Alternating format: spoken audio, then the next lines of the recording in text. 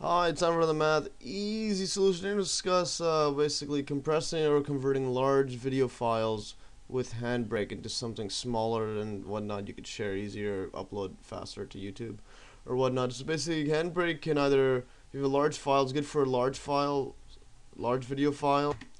And so it's good for compressing, uh, uh, basically compressing large video files or even just converting yeah, nearly all video formats to basically modern ones like let's say MP4. So in this example, basically Handbrake, you just find it on Google. So just Google Handbrake. So is a program I use a lot, especially in my uh, these math easy videos. Sometimes the files are too big if I have it uncompressed, and then I have to basically make it a lot smaller. So basically, just Google Handbrake, it's handbrake.fr, just download and select whatever it is to download you want. So basically, I already have mine. So basically, so basically, I open it up and it's uh, mine's right here. Just drag it in, so it looks something like this. So it's really easy. You, there's some preset modes, whatever. You just say whatever you you got your device from or whatever. Whatever. So uh, we'll just click the source, the video file source. Um, here's this video. If I just make it details, see the size.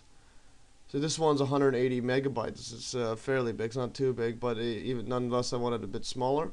This is a video that my brother's taped my foot because it was injured or something like that. I'm, I'm not even sure why.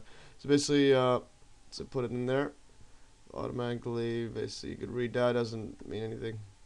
Just browse, change the, where you want it and what it's going to be called. The the output file.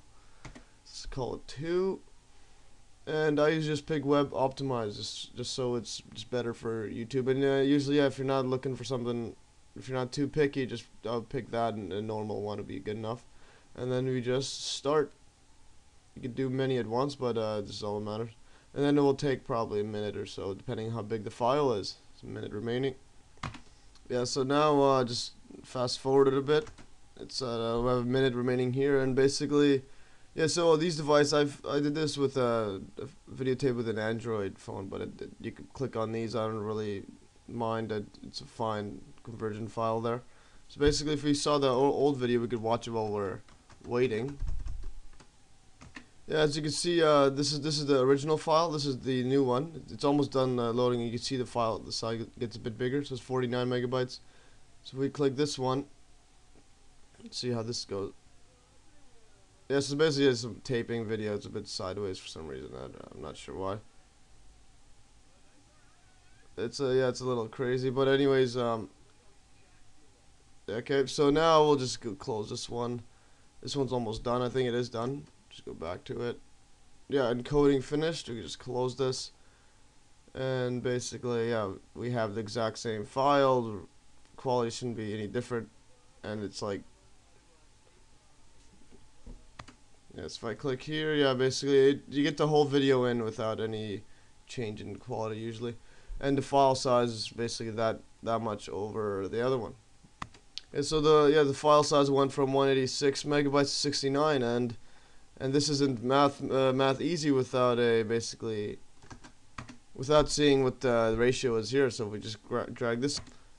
Yeah, so we drag this in, we just type this out, let's see what percentage uh, increase it was, 393, just so it's becomes a little bit mathematical. So equals, basically, yeah, we had a, that's a bit off.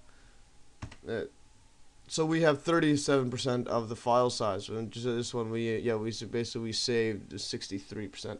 Well, that's uh, all for today. Hopefully you learned using uh, Handbrake. Basically, it's really easy. I use it all the time, just quick and easy one to uh, work with, and if you you could uh, read more into it if you're picky or whatnot. But this is just works for me. Well, thanks for uh, watching, and stay tuned for another math easy solution.